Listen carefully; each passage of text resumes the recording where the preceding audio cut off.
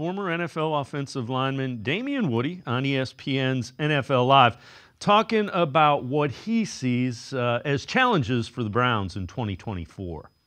It's just so hard year over year to, say, to sustain that level of success that you have. And, they, and by no means, they do have a great defense, but it's going to be hard to duplicate that again in 2024. And then when you look at the offense, multiple injuries along the offensive line. Guys got to come back healthy. Obviously, Nick Chubb coming back from that big that big uh, injury to his knee, and then Deshaun Watson. Like Mike T said, we haven't seen high level football from Deshaun Watson since 2020.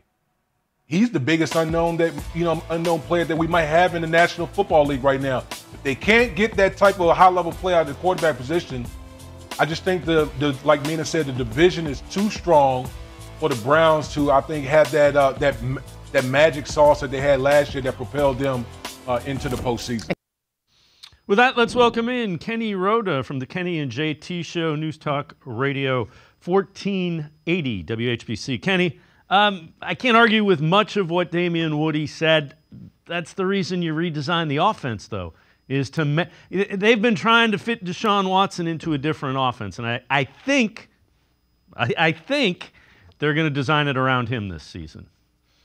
Well, you need to maximize him, right? And what are his uh, best abilities? Well, number one, the most important ability in any sport is availability. And he hasn't been available that much in the two years that he's been uh, with the Browns. So you hope that he recovers from the shoulder surgery and is able to play all 17 games. That's the most important thing. Jameis Winston, nice move as a backup, but uh, hopefully, he doesn't have to play, or if he does, it's one or two games.